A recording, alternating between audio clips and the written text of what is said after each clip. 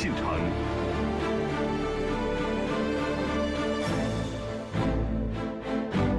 今日说法，儿女双全，老人却晚年凄凉。中午是吃啥子？都是那个猪啊，都把那个东头煮啊，了一去还吃不完。儿子与母亲形同陌路，究竟为何？今年给的他注册的狗血天赚钱，天赚钱养病，当着人给的。哎，杨彪你那个你其实养不了，你别个鱼苗给你五十块钱了。哦，母子三人，他们究竟有着什么样的恩怨？今日说法为您播出《凤凰村的母亲》。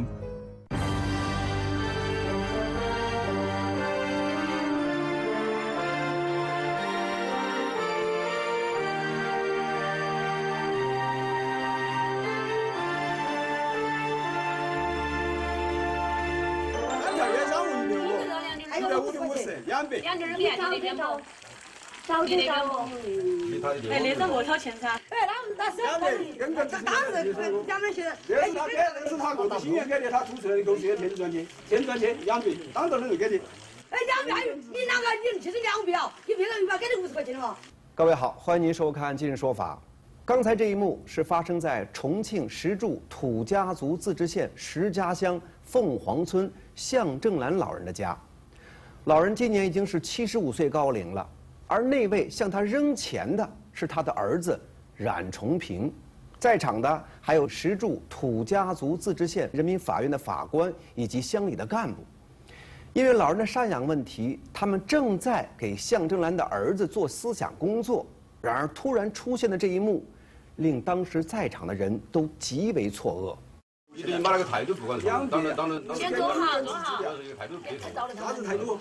那个别个不对头。如果找得到他，就是给你别个是我的是这个不是你的心里话最好还没。至少说你那个那个那个那个钱，那那种价位是不对头的。啊，我是呢，你那是吐出来的口水。我说那这是一个，冉重心皮儿感去的。，冉重皮儿，你那个还要说？冉重皮儿你去那地方冉重皮儿那个白拉，你先听我说。如果说今儿我们这边调处不好，弄到法庭见。八千也可以。没没事，这法庭见，但是哈，我哎先先给你我说的，我来的目的一是调解，另外再有。我叫做随便拿不叫做是普法，记他，就是我是从法律的那个层面来给你们讲。如果我说不怕。不是我也不威胁，那是法律有规定，代表是法律。你先听我说的来，你先听我说的来。因为冉从平的话哈，他不是很听得进去。那我们说什么哈，他好像都有理由，他自己的理由，我感觉哈，呃，感觉是比法律 都大。梁荣是石柱土家族自治县人民法院的法官。他说，他当时费尽了口舌，也说服不了向正兰的儿子冉崇平。那究竟是什么原因，儿子对母亲如此冷漠呢？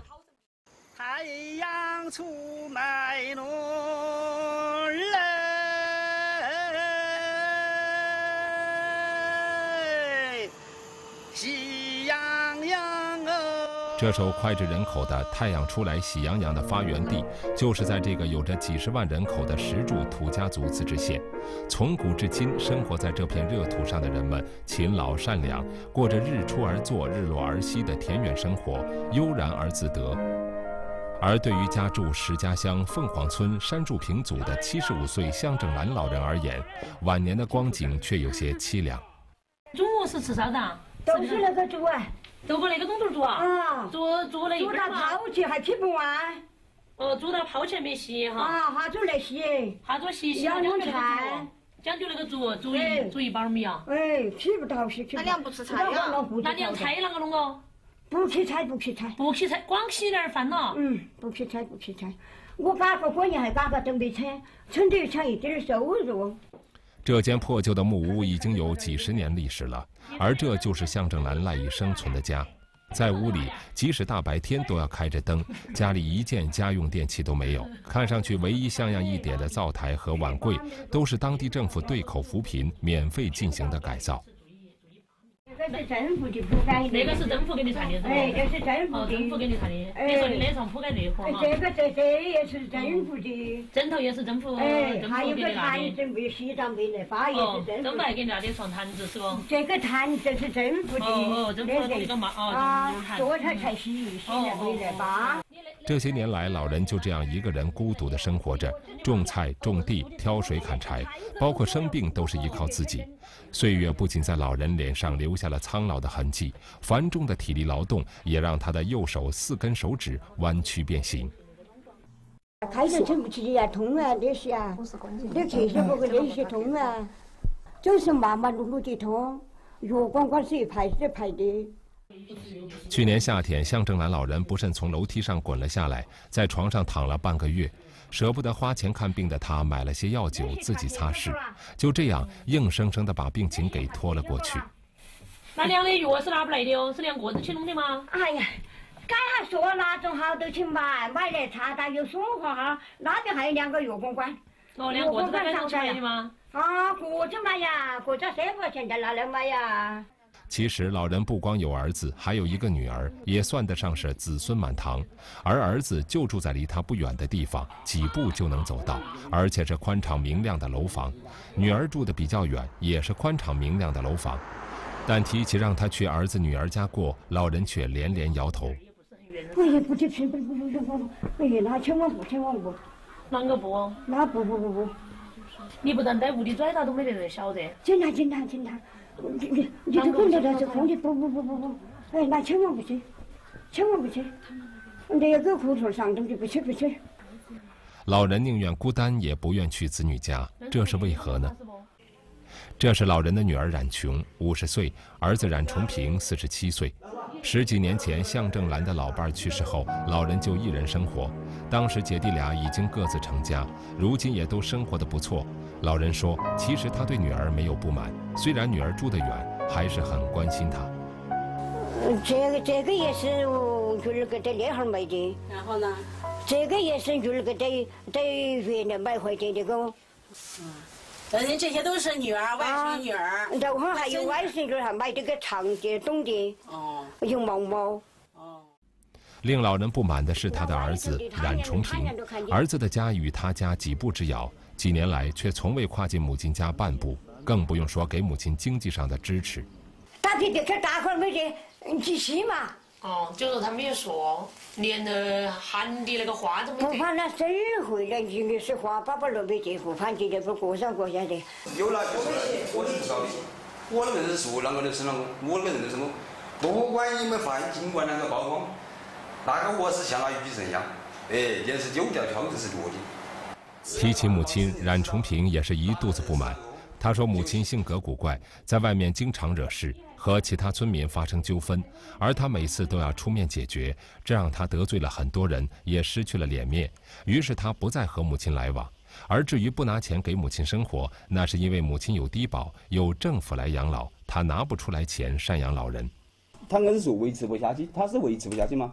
现在那个小康生活，你们都晓得，达到好多钱。”他又有好多钱一个月，他啥子过不下去，自不能自立，还是走不带爬不带没有关系，一走的爬的噻，一三天一场，四处打落九处有余，一那样一那样不行啊。而且母亲还经常在外面说他的坏话。有一次，他替母亲卖辣椒，母亲给了他五十块钱油钱和两条烟。他说这是母亲自愿给的，可后来母亲非要说是他要的。于是，在调解的时候，他很生气，就当着法官和乡干部的面把钱甩给了母亲。我会去向他要吗？你自既然你输不起，你给出来的东西你输不起，那我还你嘛，没关系嘛。你好好的还嘛。那我愿意还你嘛。好好的还东西怎么好好的还了？你这样事情就做出来了，那人家好怎怎样想哦？人谁就是个人，哪一个就是个人？他说他是你母亲啊。他母亲，他说实在话，他是我母亲，他就不该这么做。人家的母亲说老实话，还还会还生怕那个那个儿子吃不上饭，穿不上衣，他在他在做的一切。他自己最清楚。冉崇平说：“这么多年，他没有从母亲身上得到什么，反而是姐姐得到了很多实惠，因此他心里很不平衡。”隔黑的说他一辈子都是路上那员工，是老实嘛？以前租了斗子是关键嘛？是不？哎，租了豆子出来救命，你问他卖过可能没得，他拿西的。所以说他跟他给了钱，那个是有，那个他他是该给的。他就说他说这个，你实际上就是姑娘就那个。那种的赔你就不要像三家人才那点赔的工资多，他从去公家局跟就是快靠家局干的上，都是那些是纠纷。归根结底，冉崇平始终认为母亲偏心姐姐，这从俩人结婚时的待遇就能看得出来。以前他打个十多啷打一个别个孙嘛，他打人打到放的那个松树都都够了，我说还跟他，我都把那别个说放来又跟他弄了的噻，又跟他打的家去噻。那当自己说，要说在那个时候，他还是不算皮友，要说陪你还是不算皮友。那么我结婚的时候，我结婚六百块钱，你问他现在问他，六百块钱都是借的，借那个都是我个人亲自付的。你现在问他，他结婚，他说是他个子借的，嗯，那是这个借大陆的屋子去借的，那屋子干啥子说，是他个子借的，那个啥是的这个啥是的这个那借大陆的。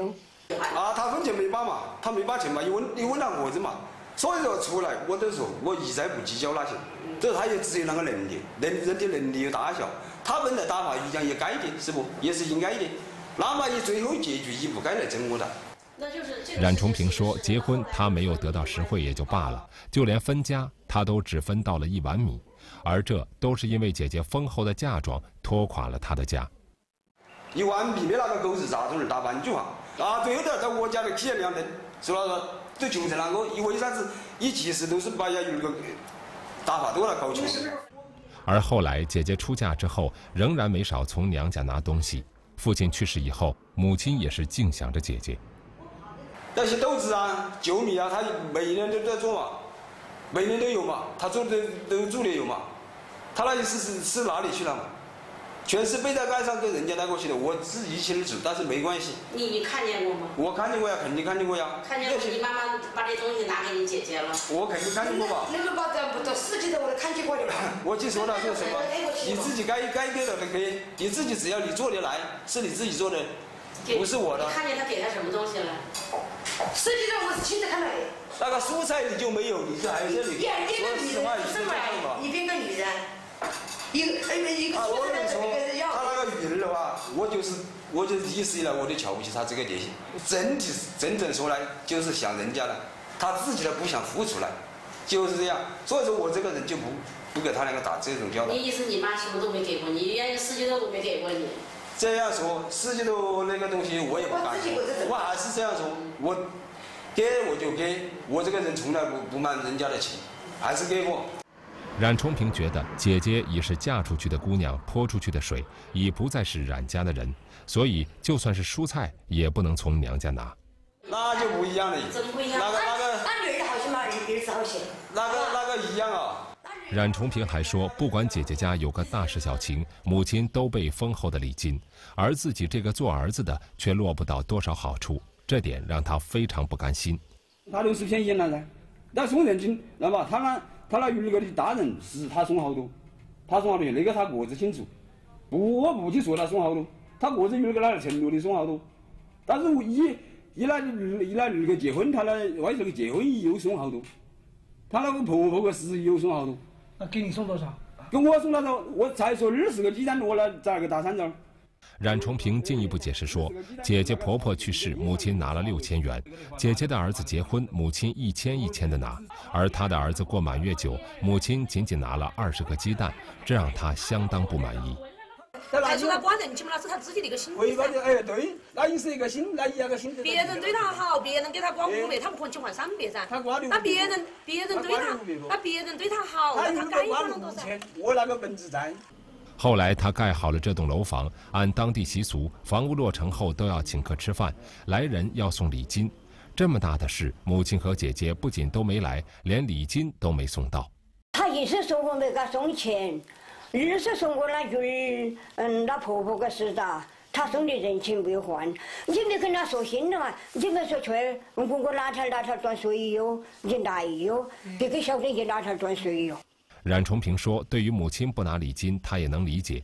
但是母亲住得这么近，他请客吃饭，母亲却不出现，反而去了集市，这就是母亲的不是了。”我也理解他的心情，他当时也是觉得他自己送不起，呃，一一分钱都都送不起，他才他才那样自己自己离开他好一点。我我也理解，但是我的心里不是要你送钱送钱不送钱的东西，我那个。呃，请客嘛，不说多了嘛，几十个人还是有嘛，是吧？那个农村嘛，几十个人还行。我几十个人就供得起的话，一个人我供不起啊。你在我那里批两顿没关系，是吧？你不你不应该跑了嘛？他去赶场去了嘛？他去赶场，他去赶场去了嘛？把门锁了，就赶场去了嘛？对此，向老太说，他那天并没有去集市，而是回了家。儿子建房子，还是他去帮忙煮饭。本来他手里有一千块钱，准备给儿子理钱的，可是突然发现钱不见了，他没钱给儿子，只好回家自己偷偷哭。我等他找没找去哭哦，那团长都听到我在哭哦。嗯，我七月初七月二十六前个不在，你八月初八断水，我不控制得起也那一阵。对于这件事，冉崇平说，后来他们也帮母亲去找，最后是他妻子把钱找到了，可是老人却说钱是冉崇平他们拿了。后来又发生了一次丢钱的事，冉崇平说他再也不帮母亲找钱了。他他哥哥都都找。他给他找出来了过后，你说他最后怎么说？他最后他说是他搞的，他说不是他搞的，那个我们找一下，我没找到。你说这个这个事情怎么说啊？你找到了还有罪呢，他到时候是你的。他一说他那个第二次钱不在，啊，我我还敢帮他去找啊？头次我就上当了，头次就找找到那么一个意思了，我还去找啊？你那么厚啊？而让他最为恼火的是，至今他的房子还没有房产证，原因就是姐姐不配合。我为啥子我那房产证嘛？现在我房产证啷个做？以为弄噻，啷个啷个弄得来哟？啷个弄不来哟？啷个弄？所以啷个弄不来哟？他不爱签协议，啷个弄不来？啷个不签协议？啷个就从他没说不给签协议了。原来向正兰的女儿冉琼虽然已嫁出去，但是户口并没有迁出，因此冉崇平要给新房办房产证，必须经得母亲和姐姐的同意签字才成。然而姐姐却成了他办房产证的最大阻碍者。我是幺四年进的噻，幺四年嘛本身我都是扶贫户了噻，是不？我扶贫户休息了过后，人品一万，那老员工的户口在我那个住，一年一万块钱，假如是弄来的，一个是每个月归大归就的电气气，是不？大家都叠到钱了，你为啥子啷个上上亮亮的跑我好事了整到我呀？啊，硬不搞？我跳好多回，我往黄水跳好多回，能不能不去搞？家庭琐事令儿子心生怨怼。我一看那个，他都没把住我是他的儿，我都没把住他是妈的。女儿却说自己有心无力。他邀约我一把他啷个做人偶肉月也？年迈母亲又能依靠谁？今日说法为您播出。凤凰村的母亲，在我们的记者采访过程当中，冉崇平口中啊出现频率最高的语句就是母亲一直一直如何偏心大姐，而她受了多少多少的委屈啊，这对他极不公平。那么事实真像冉崇平所描述的那样吗？在距离石柱县城几十公里开外的鱼池镇，我们见到了大姐冉琼。听说记者和法官们一行人是专门为老人赡养的事宜而来，冉琼显得很感慨。她说：“这么多年了，就是因为母亲的事，他们一家三口变得连仇人都不如，老死不相往来。”你好长时间回去看是你妈妈？我没去看过的，我是啷个我不去看呢？我干唱干给没东西去起的买去起的。有点零用钱该给给医用的是给给医院的，一病了我该给弄来弄药，那个都是正义的。都是托人给他带过去是吧？啊，自己也不去看。一直看一直看看起好烦哦，心里不看还好，去看起难过，我哪里去看的？冉琼说，她前些年也会经常回家去看望母亲，可每次一回去，弟弟就开始闹，说老母亲给他偷偷拿了钱用等等这样的话。这样的黑锅他背的太多太多了，于是冉琼干脆再也不回娘家。他遥远望一一把他啷个做人偶肉药也？他现在他遥远望一一把他灭法。那你平时你妈妈有没有拿钱给你用嘛？随便去咨询那儿哪个看他老到哪里去钱，爸爸死了都是我去提出买的，他都没回来买他。随便就问那儿哪一个嘛？而对于弟弟口中所说，他结婚时父母给他丰厚的嫁妆，冉琼说那会儿大家都穷，哪有什么值钱的嫁妆？有啊，搬那点乡乡聚聚啊，搬点去从铺去啊，都是我来。那该搬不？啊，都是我个噻。我房子可没多安水。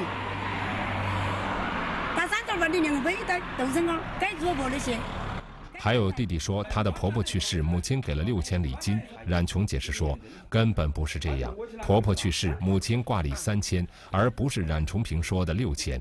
况且这笔钱纯粹是自己为了在亲朋好友面前撑面子，他给母亲让母亲送过来的。我给你婆婆的死了，送你三千块钱，送你三千块钱吧，不是他送的，我是那个英雄多好，老李拿出来，是我或者荷包摸出来的。三千嘛，你以他的名义去写的三千块。哎哎，对头对头。以他的名义去写的三千块。嗯。他晓他晓不晓得那个车？他在路头啊。哦哦，他在路里。嗯。所以说，他也是搞的，他他给我送六百块钱，他老子说是送一千块钱。意思你给他解释没有？以他那个说的真的了。我现在我也不理他，在一个子那里跳，别的时候我只能说他。但是这个说法，冉崇平不认同。家的，我是最我是最了解。我是最了解。都说都说都说市场从去哪里三千块钱，这个只能是听他的那个。随便去咨询了哪个看他捞到哪边的钱，到会会的兵了都是我跟他拿钱。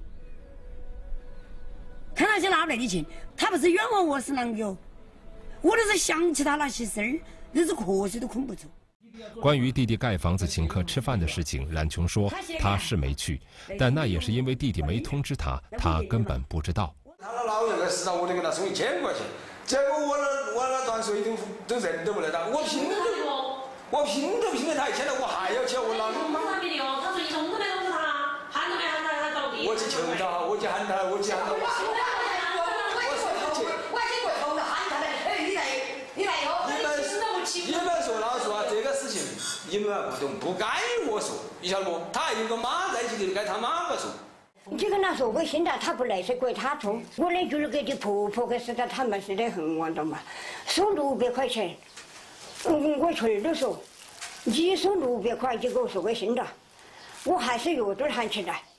总而言之，冉崇平认为，即便他不通知姐姐，姐姐也应该来，而且有妈妈在，姐姐不可能不知道他请客吃饭的事。姐姐有事，她去送礼；自己有事，姐姐不来也不还礼，那就是姐姐的问题了。没查我名的，我们老婆婆的事啊，婆婆的事啊，来收六百块钱。他说我，他说他婆婆收一千块钱，他说我没还他的人情。更何况在办房产证的时候，姐姐还推三阻四，以至于至今房产证都没办成。对此，冉琼说：“这事儿其实真的不能怪他。”都是为了他来办房产证，他叫老家来拿身份证跟户口簿，我是叫他打电话说大家我来拿，我说是叫他各自来拿，拿各自来拿，我不给给我不对哦，来拿我的高信息给他。他说要我的要我的命，我都不会去拿他那个的。冉琼说，那天下雨，母亲过来要拿她的身份证和户口本给弟弟。冉琼觉得母亲年龄大了，怕母亲弄丢了。她并不是不配合弟弟，而是觉得弟弟应该自己来取，而不是让年迈的母亲代劳。结果弟弟不来，还对她产生了误解。我说何子来拿？我说来拿，我说我是不会，我说他何子都怕是个人养的那，所以大家说哪个牛？我那个话也不分名字噻。就这样，几年来一家三口的矛盾越来越深。更重要的是，冉琼觉得弟弟总是说他从娘家捞好处。为了避嫌，冉琼说这几年他也不登母亲家的门了。啊，那是为了就是为不起，就是为了以前他有时候也不那么有没有到好歹一下，像他被控制时间都不起。我一天打一个一天打电话，打不到打不通了嘛，就叫别去看，怕他都遭到的嘛，那老大的事儿。而弟弟冉崇平因为这些事记恨母亲和姐姐，也不与他们来往。就算与母亲相隔几米远，也不见母亲一面，更不用说生活上的关心和照顾。反正现在是各自各的路啊。自己都是。哎，你我的，你老大能把我整的了。哎呀，这场社会好，我不担心。我国家爬不得走不得，我只晓得爬不得走这的时间。难说大，我不是晓得我难说大。那你生病了，或者说再从楼梯上摔下来的啷个办呢？不怕，我只做官的慢慢说。我千万跟我是不得去跟的，那个合同，那个环境我去过的。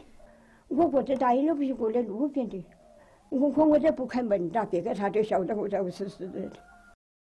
好，今天我们节目请到的嘉宾是中华女子学院的李明顺教授，欢迎李教授。李教授，你看这俩孩子，儿子说，母亲偏袒大姐，所以我不能尽孝。大姐说呢，呃，我不方便，我为了避嫌，所以我不方便去妈妈那里。但是法律上啊，对孩子赡养父母啊，它是有规定的啊。您帮我们介绍一下。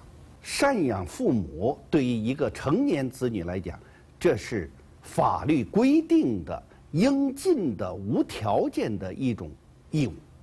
那么在这个案件当中，我们看到这个冉崇平，他把很多话说的都理直气壮。实际上，我们要剖析一下，他至少有这么几个。方面的问题，甚至可以说是错误。嗯，第一个，他把该应该不应该做的事情变成了愿意不愿意做的事情。也就是说，本来他是应该赡养母亲的，他做不做，就是首先你必须要解决你该不该的问题。但是他变成是，那我想养就养，我不想养就不养，变成我个人的意愿，完全要由我的意愿来决定，这是一个。第二个是什么？他把他个人的标准歪曲成了法律的标准。那么也就是说，你他其中有一个特别啊，那我想怎么样就怎么样，是吧？那么我说这样就这样。那么他把自己的这种标准歪曲成了法律的标准，这是一个。另外，更大的错误是什么呢？就是他把对父母的赡养，对他母亲的赡养。这种无条件的法定的义务，转变成了一种有条件的主观的自己的一种施舍。那么，你像在这个里头变成有条件的了，他该给我的东西没给我，我不赡养他，等等等等，找出了一系列不履行赡养义务的理由。而这些理由，无论是从道德上还是从法律上，都是站不住脚的。把这种。把错误的认识、错误的观点当作理直气壮的借口，这是非常错。说来说去，冉崇平和母亲以及姐姐的矛盾，都是一些家庭琐事。可就因为这些事儿，导致几年来向正兰老人呢见不着子女的面，更得不到子女的关怀，有病有灾，只能自己扛着。二零一八年，石家乡政府在开展扶贫攻坚行动过程中。了解到了向正兰老人的家庭情况，也为他的境况感到担忧。但是要想改善老人的生活状况，还必须要从他的两个子女入手。那么法官能够做通两个子女的工作吗？欢迎您明天继续关注我们的节目。好，感谢您收看今天的《今日说法》，也感谢李明顺教授参与我们的讨论。欢迎大家继续关注中央广播电视总台央视综合频道接下来为您播出的其他内容。再见。